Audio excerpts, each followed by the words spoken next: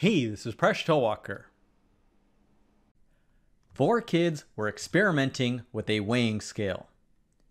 As each did not want the others to know their individual mass, they agreed to weigh three people at a time. After trying all possible combinations, they kept getting the same four readings on the weighing scale. The readings were 63, 66, 69, and 72 kilograms. Each person wanted to keep his weight a secret, but they had a problem. They then realized the group weighings provided too much information. So the question to you is what is the mass of each child? Pause the video if you'd like to give this problem a try. And when you're ready, keep watching to learn how to solve this problem.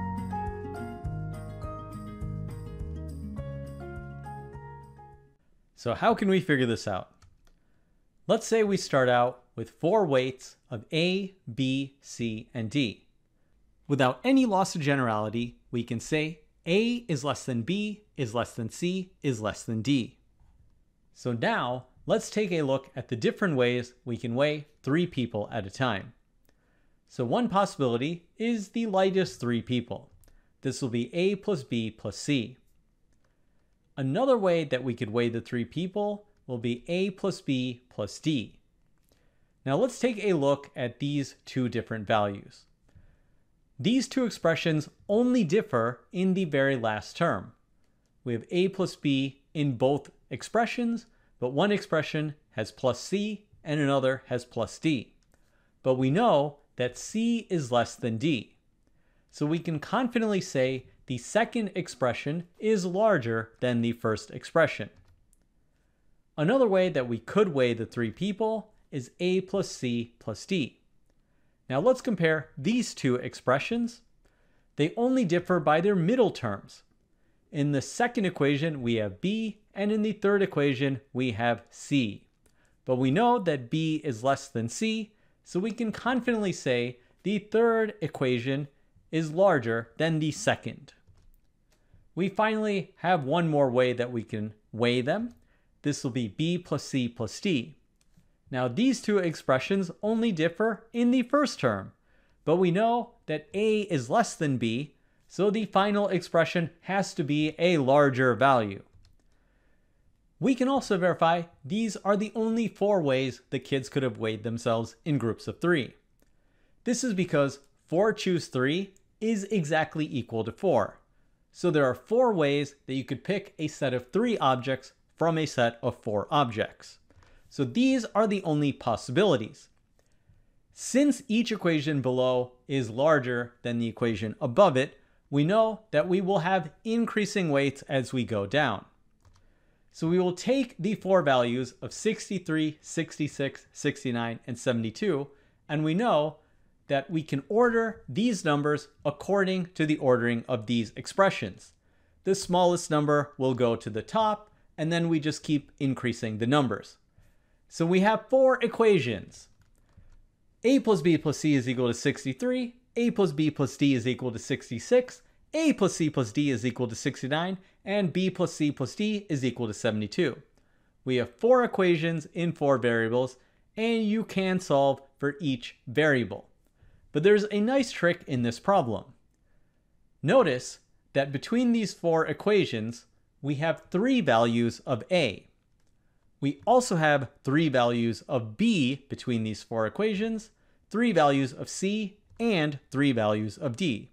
That's because in each equation, one person is being left out. So if we have four equations, one person is left out in just one of them, so each person appears in three of the weighings. So what does that mean? If we add up all four of these equations, we will get three of each value. So we will have 3a plus 3b plus 3c plus 3d, and that will be equal to the sum of 63, 66, 69, and 72, and that is equal to 270. So since we have three of each value, we have three times the sum of all of the four kids' weights is equal to 270. Dividing both sides of the equation by 3, we get the sum of their four weights is equal to 90. So how will this help us solve the problem?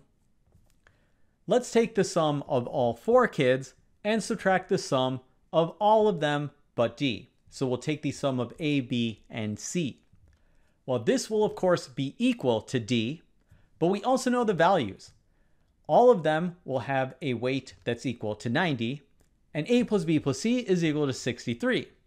So 90 minus 63 will be equal to 27, and that is the weight of D. So we figured out one value. We can do the same trick for the remaining three equations.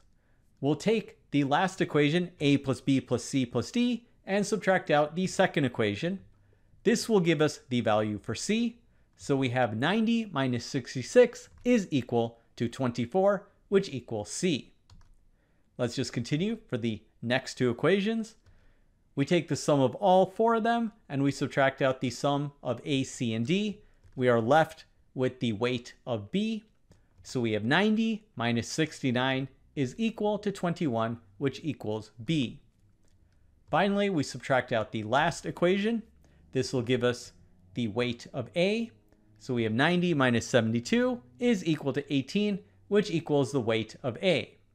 So that is the final value.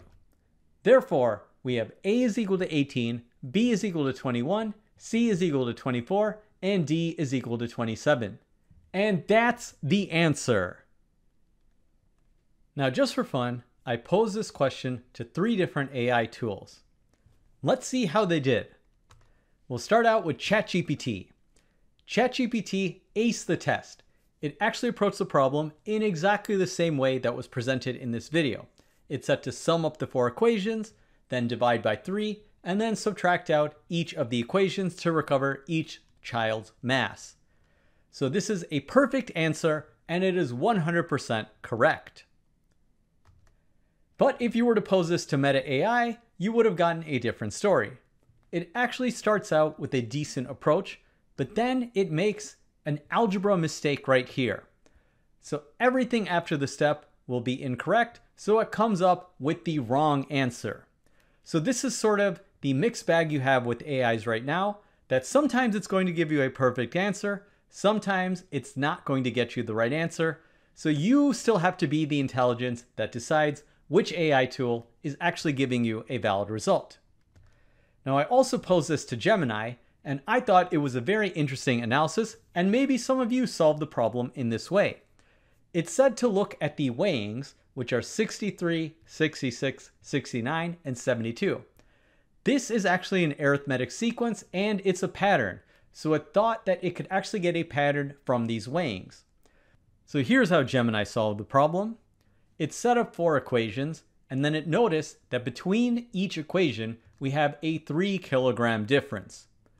Therefore, we can deduce that the masses of the children are in an arithmetic sequence where each time we're adding 3 kilograms. So we can substitute this back into one of the equations and then solve for the masses. So Google AI completely solved this question. So for scoring, 2 out of the 3 AI solved this question, and I guess 2 out of 3 ain't bad. Thanks for making us one of the best communities on YouTube. See you next episode of Mind Your Decisions, where we solve the world's problems one video at a time.